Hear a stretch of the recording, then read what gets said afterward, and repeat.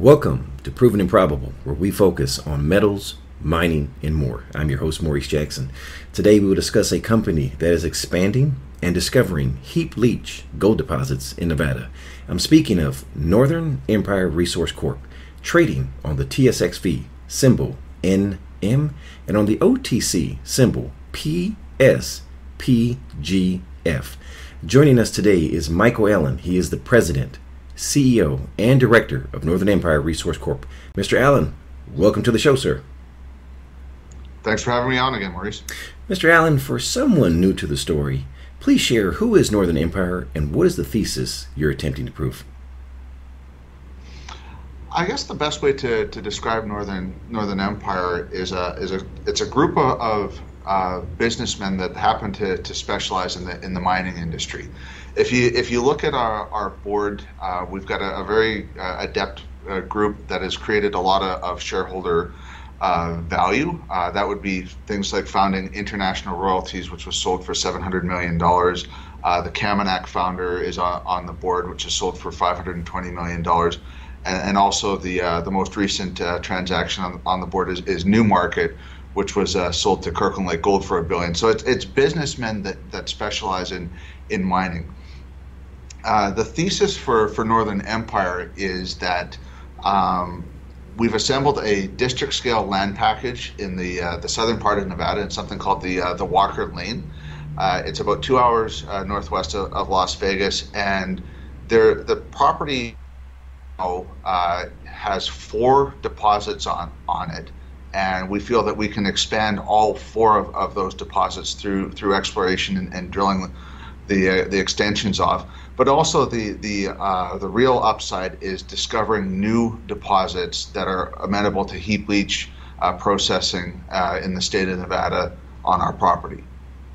Michael, let's switch screens for our listeners and talk about your latest press release entitled Northern Empire provides regional update and identifies several new exploration targets.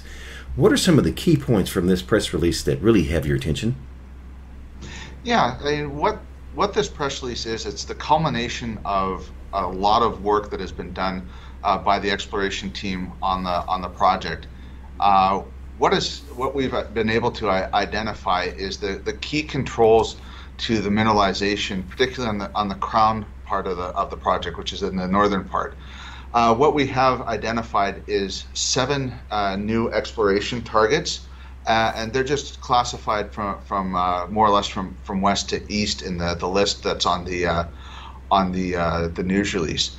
The the road zone is just to the to the north of the Daisy deposit, and what we like about about that is that and the Gold Ace fault target is that they are shallow mineralization uh, around a known deposit. So we think that there is a potential there for adding ounces that are that are immediately mineable uh, given a, given a, the proper study and, and, drilling off the, the resources, and that's what the focus has been for both the, the, the road zone and the Gold Ace fault. It's immediately uh, adjacent to the Daisy series of, of deposits, and we think that there that there is a a, uh, a potential for expanding that deposit.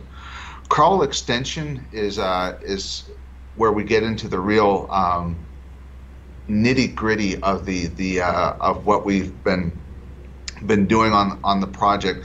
The Crowell uh, was a historic mine, and actually there was a geologist that went down in it recent recently, not by our, our guys, um, but uh, and he sampled the rib and got uh, 0.2 ounces per ton, seven grams. Where this this mine is is actually at the hinge of a very large scale antiform, uh, a big fold structure that points off to the northeast, and this this uh, antiform, the, the hinge would be where it is most permissive for fluids to to get through and mineralize. And the very high grade samples that were collected there historically, uh, seven grams, indicate that potential. It starts to, to create a story of us being able to link up the uh, the deposits there. Uh, further to the east, we get into the to the radio tower and Secret Pass East Radio Tower is the updip extension of, of the Secret Pass deposit, and there's some really interesting geochemistry there that suggests that, that there is a, a target at depth.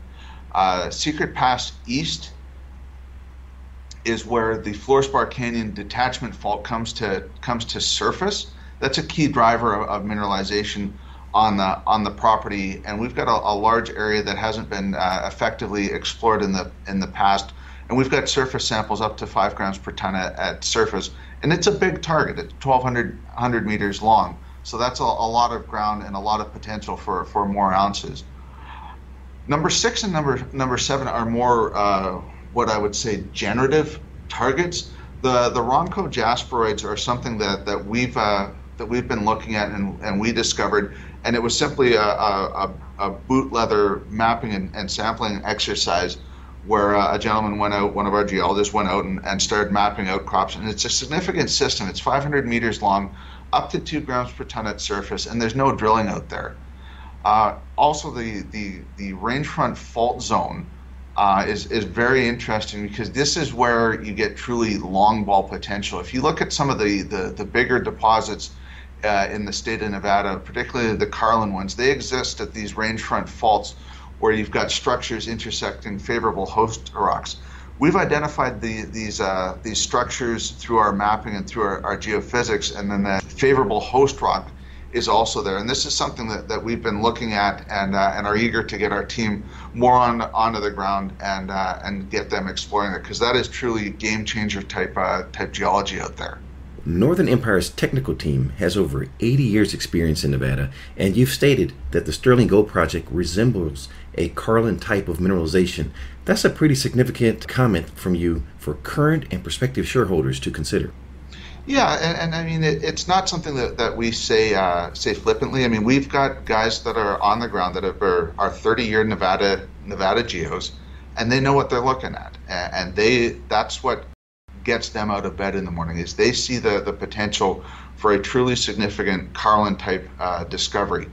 And, the, the, significant thing for, for shareholders uh, that need to understand the non technical people is the Carlin type uh, deposits in the state of Nevada are the truly big ones. These are the these are the company makers and are, are the backbone for the big companies like Barrick, Newmont, and uh, and Kinross uh, operating in, in, the state of Nevada.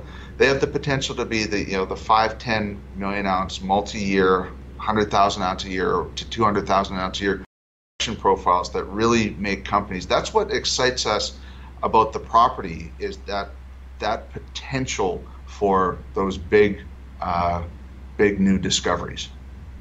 In closing, Mr. Allen, multi-layered question for you. What is the next unanswered question for Northern Empire? When should we expect results, and what will determine success? I guess the, the unanswered question is, is uh, you know, how big can we can we make this? Um, you know, that we've got four deposits on, on the property already. Uh, obviously, the permitted Sterling mine, uh, Daisy, Secret Pass, SNA. Uh, those four deposits, how big can we make those? There's also the, the, the wild card of, of this is, is, you know, can we make that, that new discovery? and given the, the evidence that we're starting to see coming in from the field, you get a sense of confidence that, the, that the, a new discovery is, is potential, uh, is possible on, on this project. Um, yeah, I guess the, the multi-layered question is, is, and then the, the next part of your, your question was when can we expect to, to see results? Mean, we are actively drilling on, on the site right now. Uh, we do have, uh, have three rigs going, and they're moving around to all the different deposits and, the exploration targets. So there is news flow that's going to be coming out pretty much constantly over the over the next several uh, several months as we advance the the project. And what will determine success? Uh, I think ultimately success is is, uh, is um, that new discovery. I think that that, that is the, going to be the key uh, key part of, of su- success for the company. What is the worst case scenario if we don't get a favorable outcome? What is Plan B? You know, I love this question. Um, because this is this is actually speaks to the to the strength of, of the board and uh, and the, the team at, at, Northern Empire. Um, when myself and the board were designing Northern and, and what we wanted to, to do with it, it wasn't uh, that we were going to buy, you know, essentially take our shareholder money and buy lottery tickets. We were we were making up a, a, business plan as to what we want to do with the company, and that's actually one of the reasons why we got the the Sterling asset, because um, there is a backstop uh, of shareholder value there. The permitted Sterling mine is a is a key part uh, of the of the company. Uh, we don't talk a, a lot about it, but it does put an underlying base value into the company. If we do not have any additional exploration success, we do have a fundamental core business that we can take the company and build off going forward, and that is the permitted Sterling Mine, which is a high grade open pit heap leach project in the state of Nevada. And we think that that substantially de risks the company for the investor. So, in terms of, of the design of the company and going forward, there's a lot of upside, but there's not a lot of downside for, for the investor right now. Mr. Allen, we've covered the good. What keeps you up at night that we don't know about? I think that, that for for me, uh, as the as the CEO of, of, Northern Empire, the the thing that keeps me up at night is that is the the responsibility for the people on site. Um, we've got about 25 to 30 people actively working on, on, the project right now. We've got drillers going, we've got geologists out in the field, we've got people moving around in trucks. And for me, safety is, is the number one thing for, for us to, to be considered, to consider in terms of what keeps me up at night. I don't ever want to have to, to face uh, a situation where somebody got hurt. And that, that, um, safety culture comes from from me down, um, and that's you know we we talk about safety on a daily basis. We manage risks as, as best we can, but there are a lot of moving parts, and that is for me the thing that keeps me up at, at night is is I don't want any to see any of the people on our project get hurt. I mean that is that's my nightmare scenario. You know, and I can uh, reemphasize those ethos there. We were there at the earlier site visit this month, and first thing was safety first, safety first, and safety first. I think that, that one of the things that uh, that I'd like to emphasize with the, with the company is that it, it is something that we did put a lot of thought to in terms of, of designing and de-risking. Um, my job is to is to de-risk uh, the company. So when we bought the asset, we have that backstop of value with great exploration upside, the the the risks or the technical risks because these are past producing and modern assets were were uh, were eliminated. So I think that the that uh, that'd probably be the, the questions that, that haven't been answered by you or asked by you. Michael, for someone listening that wants to get more information regarding Northern Empire, please share the contact details. Uh, website is uh, www.northernemp.com. Uh, there are links in, in the, the website to uh, to contact us, and uh, and it's myself or, or uh, Dylan Berg as our manager of IR. As a reminder, Northern Empire trades on the TSXV symbol NM and on the OTC symbol PSPGF. For direct inquiries, please contact Dylan Berg. His phone number is 604 646 4522. That number again is 604 646 4522. And email is info at northernimp.com. And last but not least, please visit our website www.provenandprobable.com, where we interview the most respected names in the natural resource space. You may reach us at contact at provenandprobable.com. And as a reminder for our listeners, Northern Empire is a sponsor of Proven and Probable, and that we are proud shareholders of Northern Empire for the virtues we conveyed in today's message. Michael Allen of Northern Empire Resource Corp. Thank you for joining us today on Proven and Probable.